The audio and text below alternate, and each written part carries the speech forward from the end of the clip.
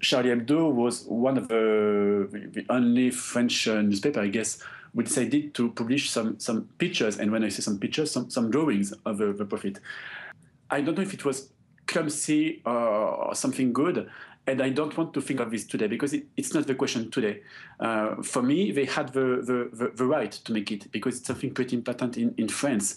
You have the, the right to, to, to think what you want, and um, if, you, if your mind is not hurting uh, other, other people, I mean, if your mind uh, doesn't hurt bodies, it's okay. Okay, in France, we have that. We are supposed we are supposed to have that freedom of expression, but if you look at sincerely, who use, with using that freedom of expression in France, Charlie Hebdo and potentially two or three other newspapers. For me, there are many shocking pictures I can see daily on TV, on TV screens, on uh, in advertising, on uh, in the newspapers. So there are many, many, many shocking things. For me, much more shocking than the than Charlie Hebdo was publishing. Charlie Hebdo is going to publish again next week. They're going to print a million copies, they say. Uh, what do you think about that? That's cool. They're alive.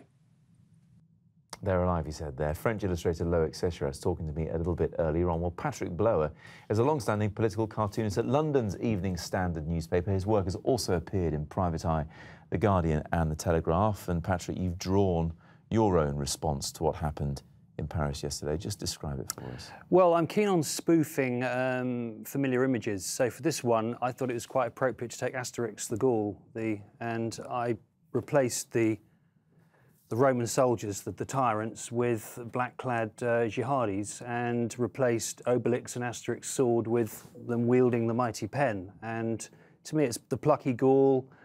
Um, uh, kind of expressing the Je suis Charlie, you know, uh, meme that's mm. sort of become so dominant. The hashtag. Yesterday. The hashtag, yeah, hashtag Twitter, rather. yeah, yeah. Are repeating. The thing is, the magazine Charlie Hebdo seems to go a lot further than we're used to experiencing when we read the likes of Private Eye and others in the UK. Would you ever go as far as to draw pictures mocking the Prophet Muhammad or the Pope or other religious figures? Uh, yes, I would, is a short answer. I mean, however, there are several aspects to this.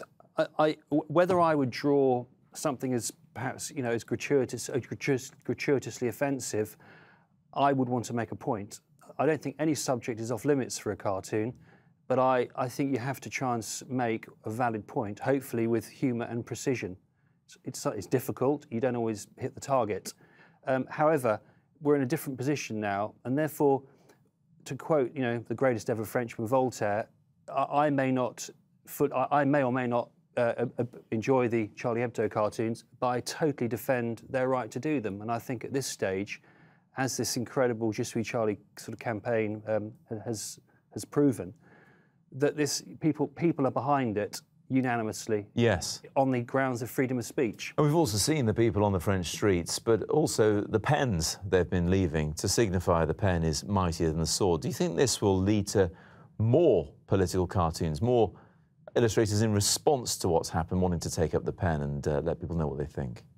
I'd hope so. I also hope at least more people drawing. I mean, not you know, irrespective of political cartoons, drawing is just a, a fantastic, uh, you know, weapon for, and a tool for anything. Mm. And it's it is amazing how the, the pencil has become this symbol, and also uh, almost the act of drawing. I mean, I've seen on various Twitter feeds, amateurs have. I don't I don't use that patronisingly, but people well, they're not paid like you are yeah, to do the job, yeah. Have posted their own drawings. And actually, it's, it's the sentiment behind it rather than the content, which is that it's, it's we draw because it's now an act of defiance. And I think that's, that's an incredibly healthy thing for, for a liberal democracy. Patrick, many thanks indeed. Okay.